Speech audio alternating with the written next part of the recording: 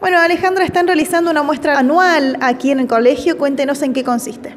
Es un trabajo interdisciplinario que se trabajó durante todo junio y julio y hoy es el cierre, en donde los chicos muestran lo trabajado. Eh, dependiendo de las disciplinas, qué cosas van mostrando, si maquetas, afiches, carpetas, dibujos, en función de todo este trabajo. ¿Qué temática tuvieron en cuenta? Este año la temática era el mundial, que nos afectaba a todos y que de alguna forma había que traerlo a la clase para que hubiese clase, ¿no es cierto?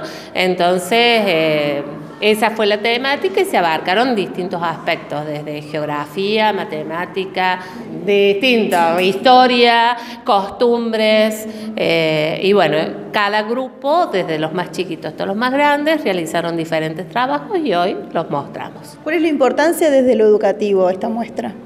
y acercar, digamos, cosas que le interesan a los chicos al aula para que desde ahí puedan llevar adelante distintos aprendizajes. Somos de sexto primera, nosotros somos del grupo de prensa que nos estamos ocupando de hacer la difusión, más que todo nos ocupamos de todo lo que era la difusión del, del evento. tenemos dos coordinadoras que ellas nos separaron en grupos, prensa, eh, armado y también decoración. Eh, se encargaron cada uno de su parte. Se separó en grupos también lo que era el Zoom, en cada stand están diferentes cursos y tienen sus diferentes materias y depende de la materia, eh, les dieron un trabajo para hacer. Marina, contanos eh, qué es lo que están exponiendo los chicos, eh, de, qué cursos son. Nosotros, bueno, estamos exponiendo todo lo que es referido al mundial, ya sea la parte gastronómica, porque también estamos mostrando las distintas comidas de las regiones, también las maquetas, que el estadio, también, por ejemplo, no sé, la, Exacto, las distintas regiones las marcamos en el mapa y bueno, en cada stand los chicos hicieron, representaron cada... Por ejemplo, eh, la orientación de turismo han realizado como folletos turísticos y posibles recorridos en, en los distintos puntos de Rusia y eso es lo que están presentando como si fueran agencias de turismo que están vendiendo el viaje. Agustín, ¿qué importancia le das a esta muestra?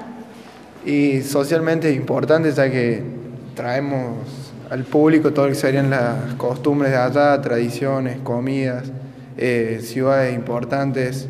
Nosotros también estábamos haciendo un proyecto aparte que era por región y nos tocó una que tuvimos que buscar mucho, pero no, no, conocíamos casi nada.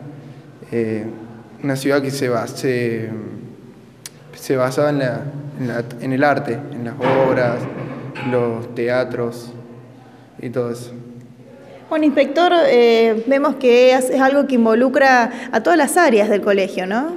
Sin duda, es muy importante este tipo de muestra del establecimiento porque, como decía la directora, es un trabajo interdisciplinario eh, se ven involucradas varias de las áreas, eh, ya sea de turismo o de sociales, que son las orientaciones que tiene el establecimiento.